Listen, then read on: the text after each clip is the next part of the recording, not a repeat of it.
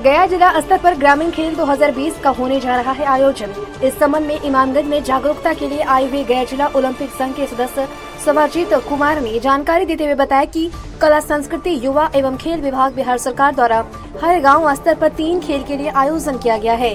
Cricket, kabaddi और athletics का ग्राम स्तर पर टीम का रजिस्ट्रेशन किया जा रहा है, जिसका आयोजक गया जिला ओलंपिक संघ है। इस खेल में सफल खिलाड़ियों और बेहतर खेलने वाले खिलाड़ियों को राष्ट्र ही नहीं, अंतर्राष्ट्रीय खेल में भी खेलने का अवसर मिलेगा।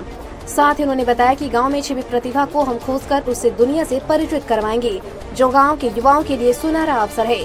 आपको बता दें कि क्रिकेट और कबड्डी को तो सभी जानते हैं, पर एथलेटिक्स का नया नाम सुनकर समझ नहीं रहे होंगे। तो जानते हैं क्या है एथलेटिक्स जो युवाओं को एथलेटिक्स में आगे बढ़ने का मिला मौका। अब ग्रामीण खेल 2021 के तहत खेलो गया ग्रामीण खेल का बिहार में कला, संस्कृति, युवा एवं खेल विभाग बिहार सरकार द्वारा गाँव स्तर पर कराया जा रहा है शुरू। एथलेटिक्स प्रति प्रतिस्पर्धात्मक दौड़ने, कूदने, फेंकने और चलने की प्रतियोगिताओं का एक विशेष संग्रह है। बीटी न्यूज़ बिहार के लिए गया से आशीष कुमार की रिपोर्ट। ग्रामीण खेल मैं आपको विस्तृत रूप में बता देता हूँ। कि अभी हम गया ज़िला में ग्रामीण खेल का एक आयोजन करवा रहे हैं, जिसमें प्रत्येक गाँव से हमें जो भी प्रतिभा है, जो आज तक गाँव में ही सीमित रह गया है।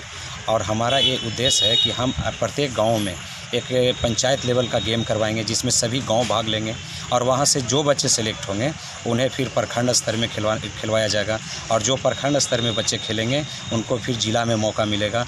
मतलब ये आप समझिए कि बच्चे का जो खिलाड़ी का जैसा उसका खेलने का अभी रहेगा अभिरुचि जितना अच्छा वो परफॉर्मेंस करेगा वैसे वैसे वो जिला से लेकर स्टेट स्टेट से लेकर नेशनल तक के वो क्वालिफाई होते जाएगा जिसमें हम लोग पूरी तरह से उस उन लोगों का सहयोग करेंगे। कौन कौन खेल है इसमें? अभी दो में कबड्डी है एथलेटिक्स है और क्रिकेट है टेनिस बॉल का। तो सर क्या इसका इंट्री फ़ीस वगैरह भी कुछ रखी गई? ये इंट्री फ़ी है प्रत्येक जैसे जो भी टीम होता है मतलब एक गाँव का। तो प्रत्येक बच्चे एक टीम में जैसे क्रिकेट का जो अभी इंट्री फ़ी लग रहा है एक टीम में पंद्रह बच्चे होते हैं। क्योंकि ग्यारह बच्चे खेलते हैं और चार बच्चे एक्स्ट्रा होते हैं कि अगर किसी तरह का किसी को कोई चोट लग जाए या फिर किसी तरह का इंजरी हो जाए तो वो बच्चा दूसरा कोई वो लिस्ट में होता है वो खेलता है। तो इसलिए एक टीम से हम पाँच सौ रुपया पर बच्चे तैंतीस रुपया करके तैंतीस रुपया कुछ पैसा करके उन लोगों का एंट्री फ़ी होता है। जी अपना परिचय दे दीजिए। जी मेरा नाम सभाजीत कुमार हुआ और मैं ये ग्रामीण खेल जो चल रहा है मैं इसका जिला खेल प्रभारी हूँ। कब तक ये ये गेम का संभावना लगभग पंद्रह तारीख के आसपास से आपको डेट इशू हो जाएगा। जितने भी प्रखंड में जो अभी रजिस्ट्रेशन का कार्य चल रहा है जैसे रजिस्ट्रेशन पूरी हो जाएगी तो आपको पेपर के माध्यम से या फिर जो हमारे प्रखंड में प्रखंड कोऑर्डिनेटर होते हैं उनके माध्यम से आप लोगों को सूचना मिल जाएगा। डेट आप लोगों को मिल जाएगा। लगभग पंद्रह तारीख के समथिंग हम लोग ये गेम स्टार्ट करने वाले हैं। कुछ कुछ प्रखंड में अभी हमारा रजिस्ट्रेशन पूरा भी हो चुका है तो वहाँ भी हम लोग गया जिला का जो चौबीसों प्रखंड है सभी जगह ये गेम गेम होगा।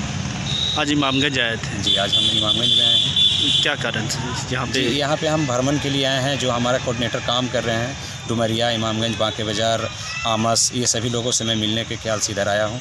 अभी कैसा इन लोगों का वर्क चल रहा है ये मैं देखने आया हूँ।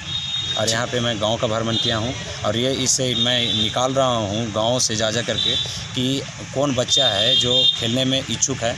हमारे कोऑर्डिनेटर अगर कुछ मैसेज जो हम तक पहुँचाते हैं वो सही है या नहीं ये चीज़ का जाँच करने में यहाँ पे आया हूँ।